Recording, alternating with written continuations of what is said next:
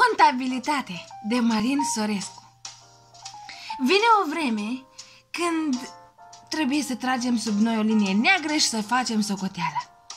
Câteva momente când era să fim fericiți, câteva momente când era să fim frumoși, câteva momente când era să fim geniali.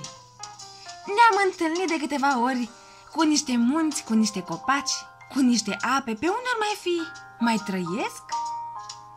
Toate acestea fac un viitor luminos pe care l-am trăit. O femeie pe care am iubit-o și cu aceeași femeie care nu ne-a iubit fac zero.